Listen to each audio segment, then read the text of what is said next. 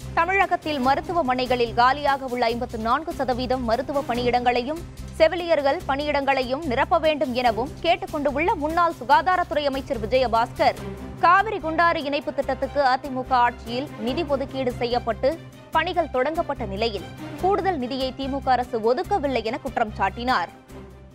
இந்த அரசுக்கு ஏன் இறக்க மனம் இல்லை என்ற கேள்வியை நான் எழுப்புகிறேன் இந்த பிரச்சனை குறித்து வருகின்ற சட்டமன்ற கூட்டத்தொடரில் புதுக்கோட்டையில் பல் மருத்துவக் கல்லூரியை திறக்காது குறித்தும் மருத்துவர்கள் பணியிடங்களை நிரப்பாத குறித்தும் செவிலியர்கள் போ பணி நியமனம் குறித்தும் குறிப்பாக கரம்பக்குடி பிரச்சனை குறித்து சட்டமன்றத்தில் சிறப்பு கவன ஈர்ப்பு தீர்மானம் கொண்டு வரப்படும் என்பதை உங்களுக்கு தெரியும் அம்மாவுடைய ஆட்சியில் ஒவ்வொரு மருத்துவமனையும் தாலுகா மருத்துவமனையை தரம் உயர்த்திட்டோம்.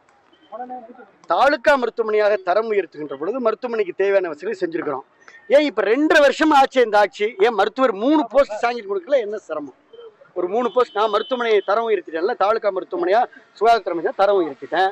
பில்டிங் கொடுத்துட்டேன் எக்யூப்மெண்ட் கொடுத்துட்டேன். மூணு டாக்டர் நீங்கள் போடுங்க. என்ன சிரமம்? இப்போ நான் வந்து காவிரி கோட்டை உபரிநீர் திட்டம் நான் சாங்ஷன் கொடுத்தேன். நான் சாங்ஷன் கொடுத்தோம். இப்போ டெண்டர் நடந்து இப்போ பணிகள் இருக்குது ஏன் நீங்கள் ஃபர்தர் சாங்ஷன் கொடுக்க மாட்டேங்கிறீங்க?